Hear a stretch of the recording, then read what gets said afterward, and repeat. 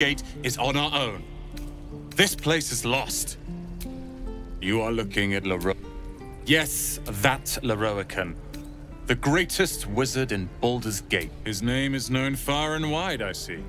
Few can match him in terms of raw power and talent. Until now, that is.